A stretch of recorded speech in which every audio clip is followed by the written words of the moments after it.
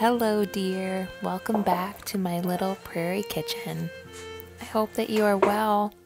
I am very excited to share with you a new series that I have been planning for the last few months and was able to bring to life this past week. I have been wanting to create a series highlighting the American Girl historical dolls and their stories for a while now.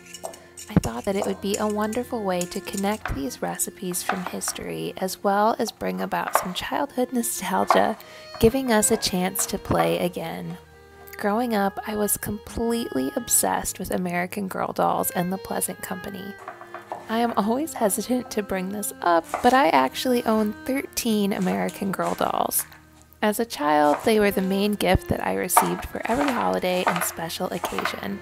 I was a very meticulous caregiver for my dolls, and while they are certainly not fresh out of the box, they are very well taken care of, which made me want to share them with you even more. In this series, my hope is to recreate some of the scenery from these stories, of course, with my own twists. I will be going through the American Girl historical character cookbooks and craft books, sharing my dolls and their accessories with you and hopefully inspiring some of you to go back in time to when you first enjoyed your own doll. I also must mention that I was very inspired to try making this series by the lovely Katie of Thistle Thistle, who made a video recreating an outfit with her doll, and my friend Marie of Historical Belle also just started an American Girl cosplay series that you will have to check out. Both are linked in the description below. If you could not already tell, I will be showcasing Kirsten's story in this video. Kirsten is a young Swedish immigrant who travels by ship to America in 1854 and settles in Minnesota. The first recipe I will be making is Kirsten's potato soup. I thought that this recipe would be fitting for a winter supper as potatoes were the main ingredient that many families in the 19th century used to get them through the cold winter months. The original soup recipe is rather bland, which would be more realistic for the time period, especially if you were traveling by covered wagon. And while the soup boils, I'll bring out my doll to show you. This is my Kirsten doll. I believe she was purchased in 1999 or 2000.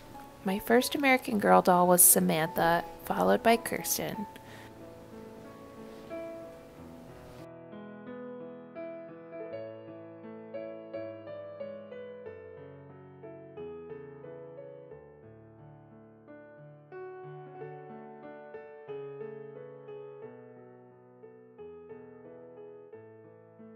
This bed is a more recent find for me.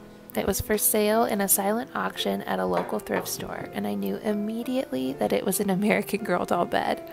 After a bit of research, I discovered that it was Addy's bed and dry sink, but it was being sold with Felicity's bedding. It took me a couple of weeks to finally get it after bidding. I have always loved this quilt.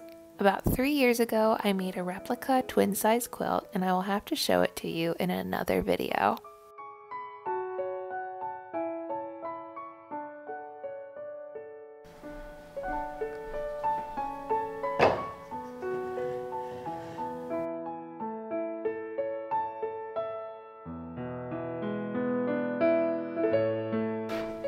Would you like to see what I have inside this box? This is all of my Kirsten accessories. But I don't think Coconut and Grace are supposed to be in here.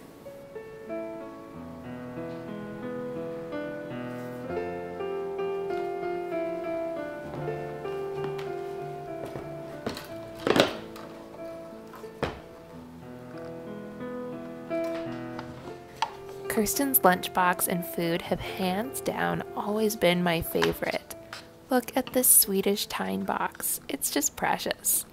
The food was always my favorite as a kid, and I just love how much detail is put into every single piece.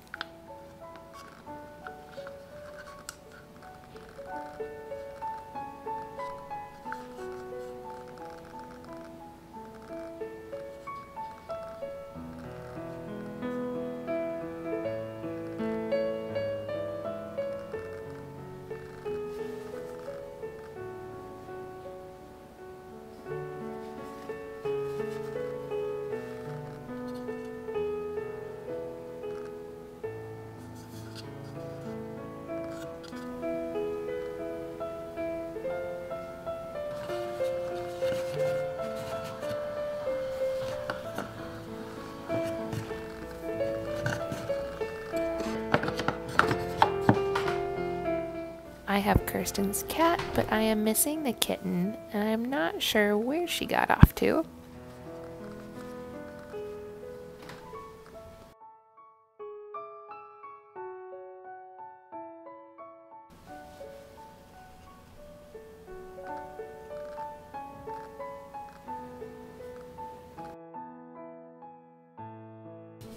This piece fascinated me as a child. It's Kirsten's tin foot warmer.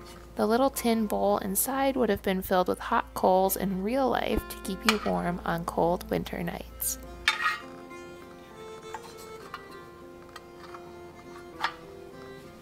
As for Kirsten's school items, I am also missing the little sewn school bag and slate.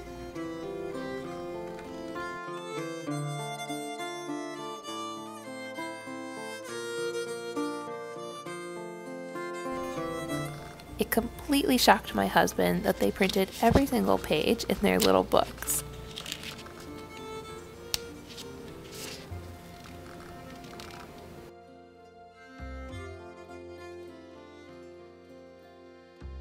As you can see, the piece of cloth for wiping the slate was used many times.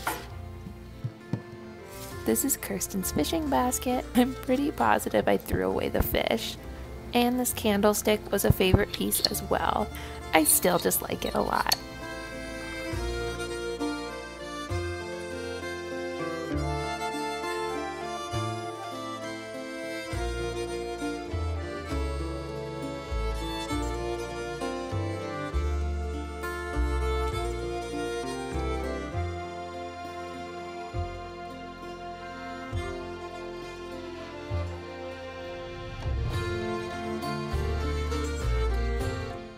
Let's take a look at the meet outfit that we ended up recreating. I still have pieces missing that I will continue to work on, which I think makes this series a bit more fun. I have yet to sew the bonnet, but I did purchase the fabric for it. Kirsten's outfit also features these woven hair ribbons, a spoon bag with a handkerchief, I am missing the spoon, an apron, and the prairie dress.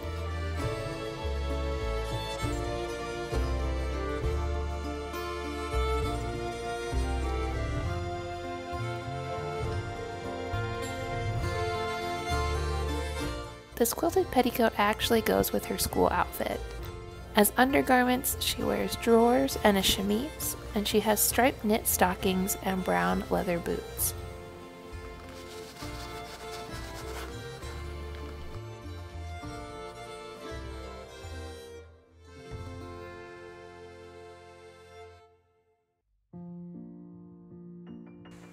The soup has finished cooking and it smells so wonderful, my dear friend.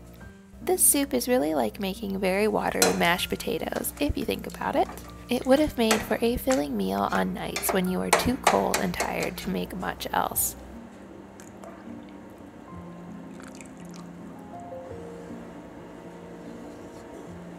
I added some sour cream to thicken up the soup, as well as add some acidity.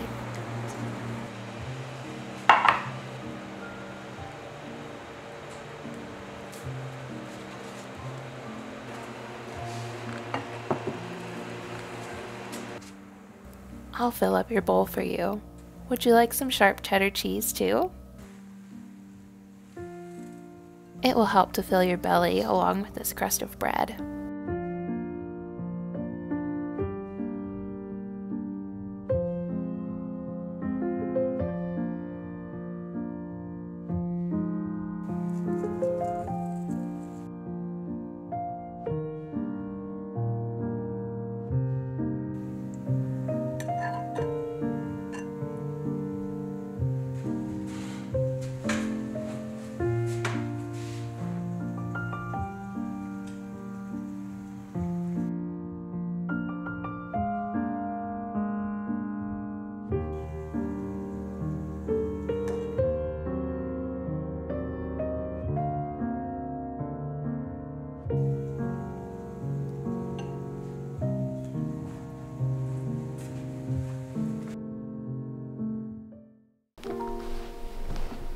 Shall we put Kirsten back to her original state?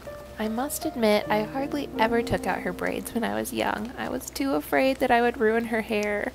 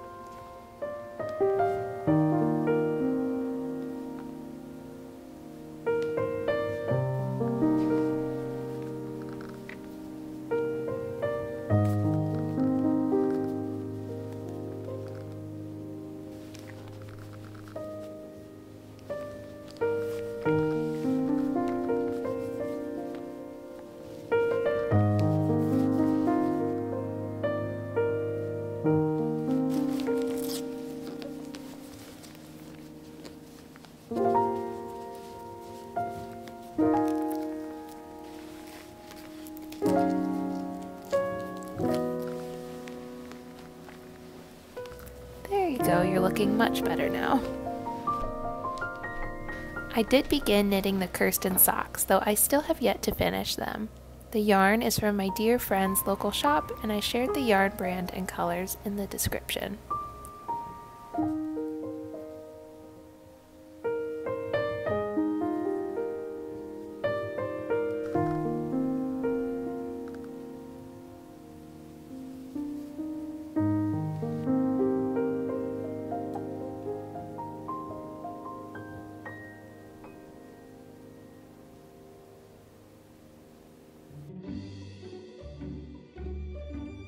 My mom helped me to make the dress, though I really only contributed in purchasing the materials and finding the pattern that I liked.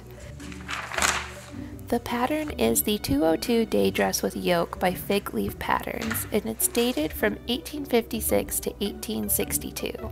We tried our best to match fabrics with what we could find locally.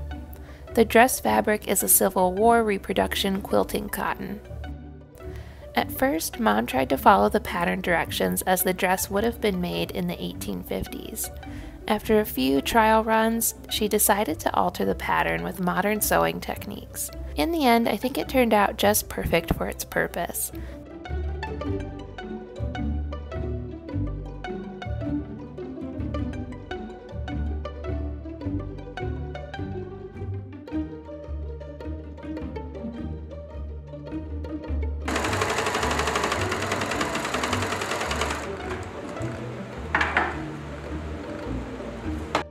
The bodice is lined inside and is meant to close with hooks.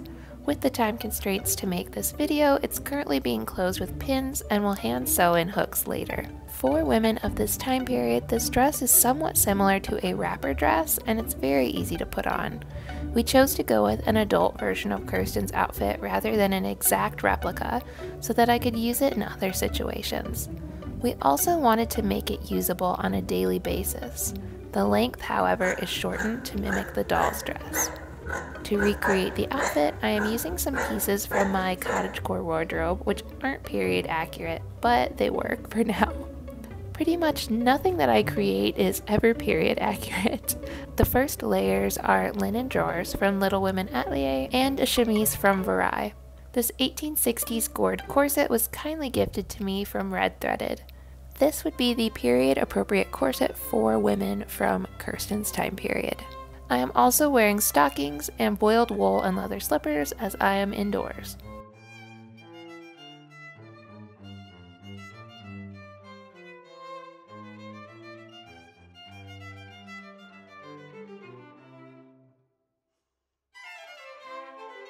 Now for the dress, which is put on kind of like a coat, though the skirt is not fully split in the front.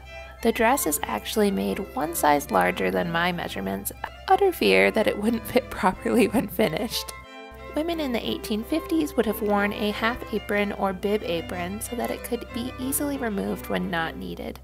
Children at the time wore a smock apron. Kirsten would have been just aging out of children's clothing and into clothing for young women. Creating the spoon pocket was truly magnificent because Kirsten and I have these same initials.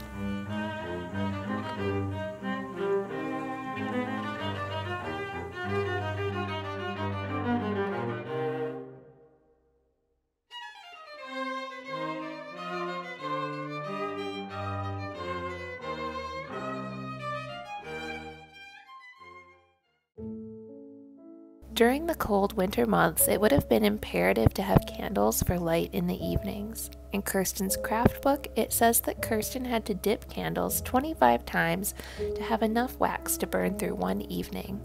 So that is what we did. We have been making candles this way for many years, and it's always such a relaxing craft. Thankfully, we do not need candles, so it is more of a winter tradition to practice and time to spend together with my mom.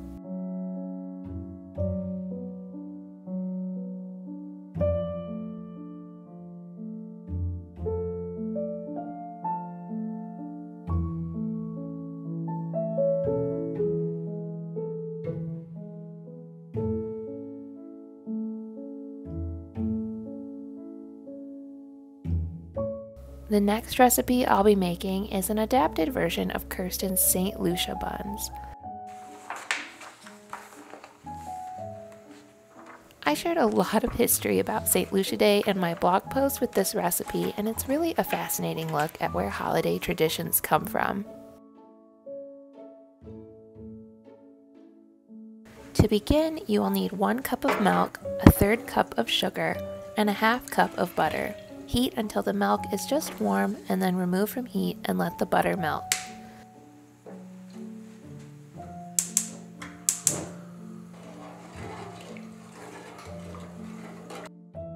Then whisk together 2 cups of all purpose flour with 1 tablespoon of yeast, 1.5 teaspoons of salt, 1 vanilla bean, and a quarter teaspoon of saffron threads.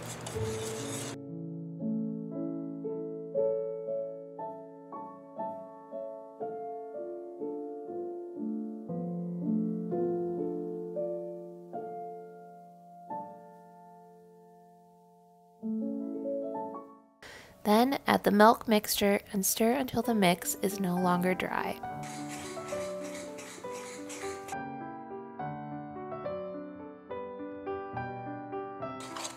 Add two large eggs and whisk them in next.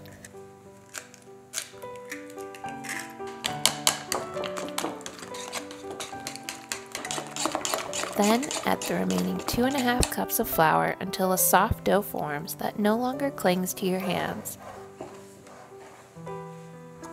Knead the dough for about 8 minutes or until it is smooth and elastic. Then place the dough into a lightly greased bowl and cover it with a towel until it doubles in size, about 1 to 1.5 hours.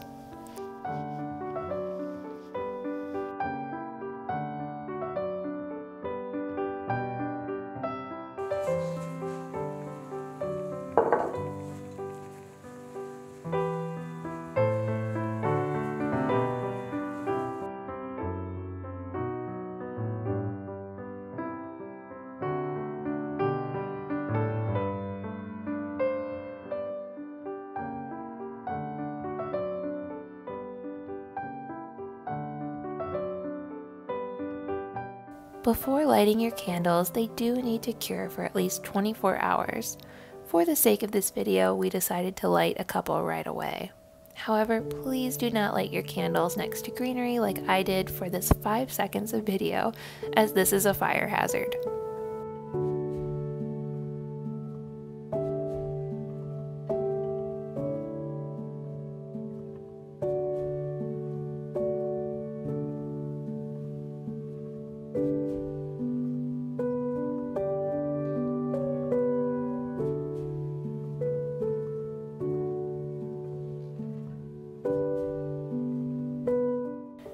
Next, we'll be making Kirsten's blue stenciled box. This box is a replica of a Swedish Tine box. Tine boxes were oval or rectangular shaped wooden boxes that were painted with Swedish stenciling. This was often inspired by nature as well as hearts and horses. We thought it would make a lovely gift box.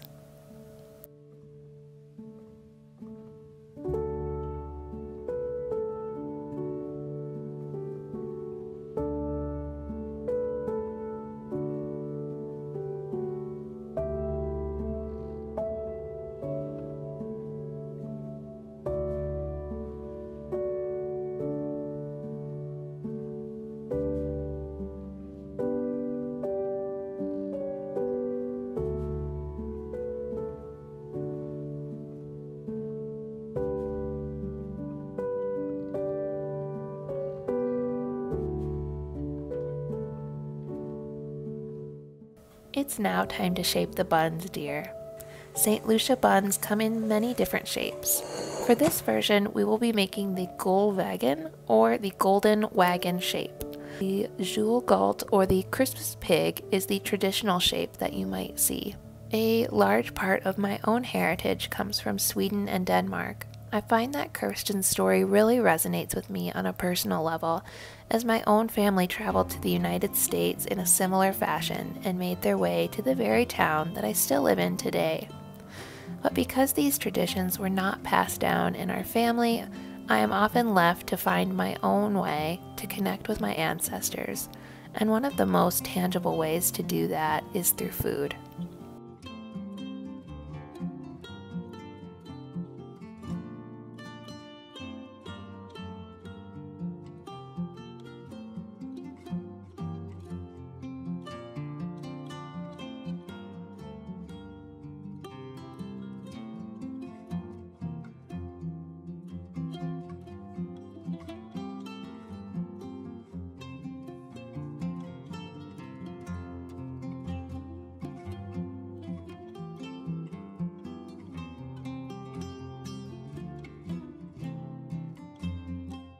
The raisins are meant to be the cat's eyes. These will bake for about 20 minutes at 350 degrees Fahrenheit.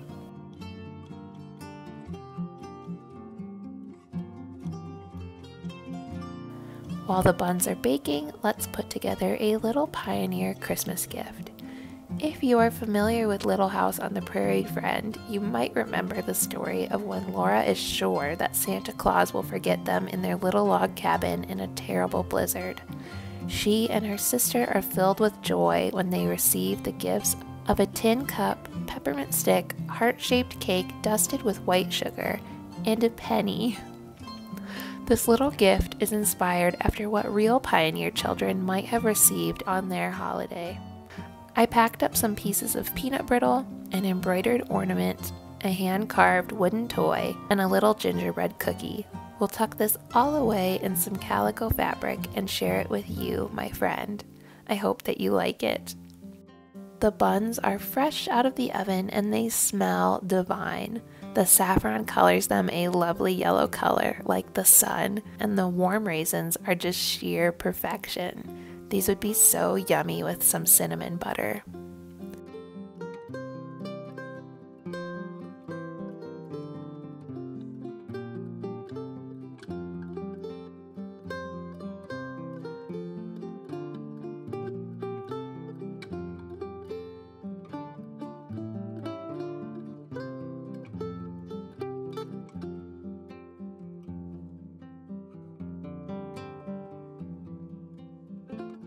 Hope that you enjoyed joining me in the kitchen and our farmhouse here on the Iowa prairie.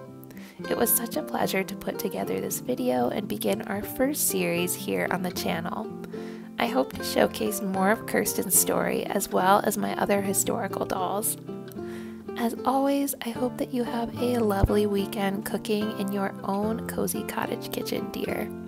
If you would like to support me, you can shop our digital magazines and ebooks on my website, as well as subscribe to our channel and like this video. I'll see you here next Friday, my dear. Goodbye.